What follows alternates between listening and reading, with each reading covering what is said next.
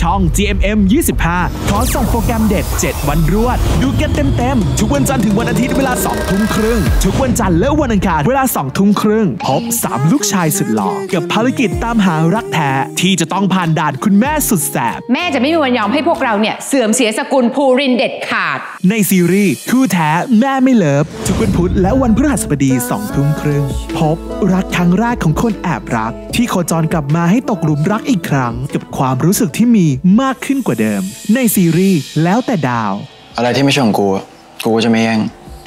แต่ถ้ามันเป็นของของกู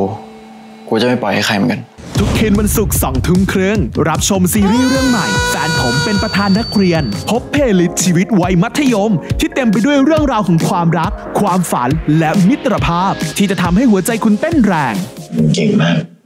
ภูมิใจในตัวมึงนะ มันมีเรื่องราวมากมายที่เธอทุก วันเสาร์สองทุ่มครึ่งท่ามกลางความสับสนและความสัมพันธ์ที่ไม่ควรเกิดขึ้น เมื่อคนที่เขารู้จักกับไม่ใช่คนที่เขาเคยรู้จัก ในซีรีส์ Not Me เขาไม่ใช่ผม ทุกวันอาทิตย์สองทุ่มครึ่งรับชมรายการใหม่ Project Alpha พบการแข่งขันของเหล่าเด็กหนุ่มมากความสามารถที่จะมาต่อสู้กัน เพื่อก้าวขึ้นเป็นศิลปินไอดอลแถวหน้าของเมืองไทย